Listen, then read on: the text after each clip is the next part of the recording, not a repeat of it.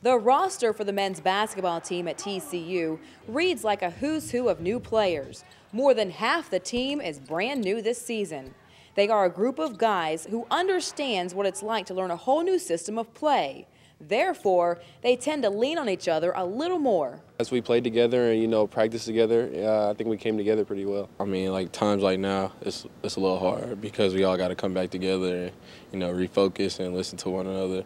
But it, it's also easy because we're all going through the same different struggles and things like that. But they also look to the Horn Frog veterans for much needed guidance. I've learned a lot from them, and, and I feel like as the season goes on, they're the guys who are going to lead us in the direction that we need to go. And they hope that direction is up. Right now, the Horned Frogs are on a four game losing streak, but they hope to end that tonight when they play host to Wyoming. Head coach Jim Christian feels having so many newcomers definitely has its advantages as well as disadvantages. So you guys all change lines. You go from that line to that one, that one to that one, that one to the end. Let's go right to it. Let's go. At times easier, you know, because uh, they don't know any other ways until the ways we've taught them. But uh, we've got to get a little bit more buy-in from those guys, understanding what we're trying to do, the urgency of what it takes.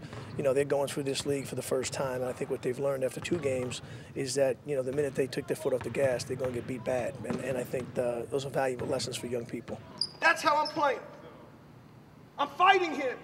But the players say they aren't panicking and just need one win quickly to get over that hump and hopefully finish out the second half of the season on a strong note. Because if we panic, it won't help us. You understand? And being basketball players, you learn that you're not going to win every game. So, I mean, panicking is just going to make it worse. So we're just staying focused and doing what we got to do, and, and we're going to break through, and we're confident that we're going to do that. It's on us to turn our, start turning our season around and start making a statement about our team.